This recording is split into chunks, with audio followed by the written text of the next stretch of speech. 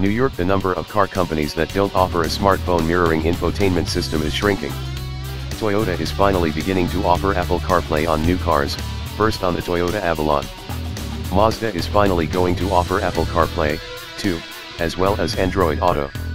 The first car to get it will be the Mazda 6. The new feature will be available in new 2018 Mazda 6s this summer.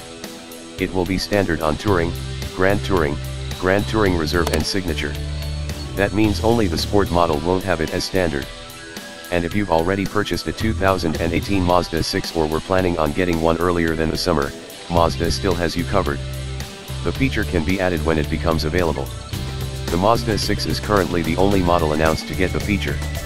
No announcements for when updates for other models will be available, or regarding the application of the feature to older Mazda models with the current infotainment system,